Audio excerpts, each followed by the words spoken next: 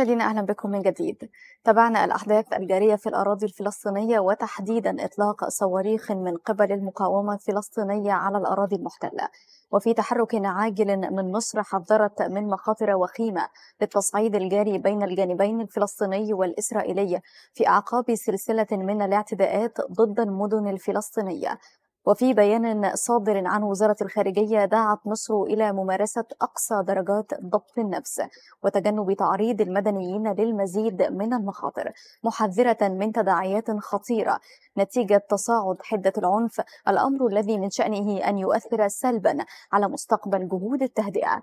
ودعت جمهورية مصر العربية الأطراف الفاعلة دوليا والمنخرطة في دعم جهود استئناف عملية السلام إلى التدخل الفوري لوقف التصعيد الجاري وحث إسرائيل على وقف الاعتداءات والأعمال الاستفزازية ضد الشعب الفلسطيني والالتزام بقواعد القانون الدولي الإنساني فيما يتعلق بمسؤوليات الدولة القائمة بالاحتلال.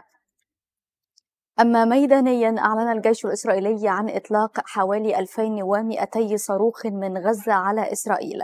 وقال بيان صادر عن الجيش الإسرائيلي إن المسلحين تسللوا لإسرائيل عن طريق البر والبحر والجو وسيتم تعبئة عشرات الآلاف من أفراد الاحتياط. وعقب رئيس الوزراء الإسرائيلي بنيامين نتنياهو تعليقا على الأحداث الجارية من إطلاق صواريخ من قبل المقاومة الفلسطينية على الأراضي المحتلة.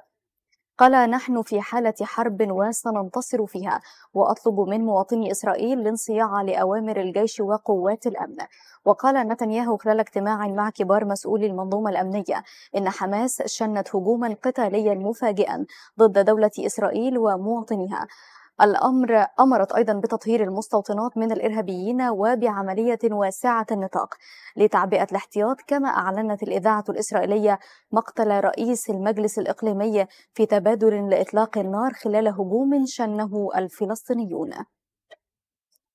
علق أيضا رئيس إسرائيل إسحاق هرتسوغ على الحدث قائلا إن دولة إسرائيل تمر بوقت عصيب إنني أعزز جيش الدفاع الإسرائيلي وقادته ومقاتليه وجميع قوات الأمن والإنقاذ.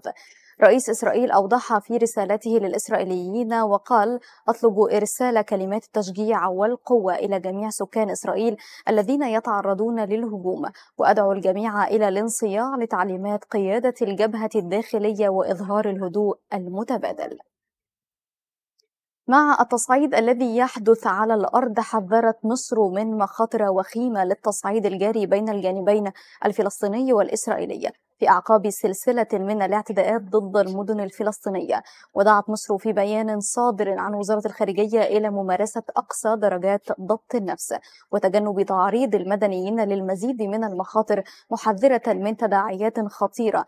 نتيجة تصاعد حدة العنف الأمر الذي من شأنه أن يؤثر سلبا على مستقبل جهود التهدئة. ودعت مصر الأطراف الفاعلة دوليا والمنخرطة في دعم جهود استئناف عملية السلام إلى التدخل الفوري لوقف التصعيد الجاري وحث إسرائيل على وقف الاعتداءات والأعمال الاستفزازية ضد الشعب الفلسطيني. والالتزام بقواعد القانون الإنساني فيما يتعلق بمسؤوليات الدولة القائمة بالاحتلال. مشاهدينا إلى هنا نكون. قد وصلنا لنهاية هذه التغطية وبكل تأكيد سنوفيكم بكل ما هو جديد. شكرا جزيلا على حسن المتابعة وإلى اللقاء.